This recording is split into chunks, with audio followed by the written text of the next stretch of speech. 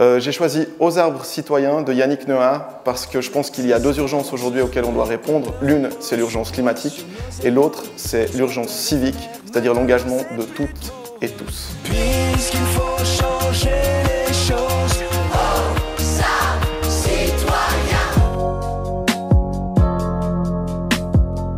Je m'engage pour une Suisse euh, solidaire qui euh, est sensible à ses traditions, qui veut continuer à être euh, un pays qui encourage la médiation, le consensus entre sur la scène internationale.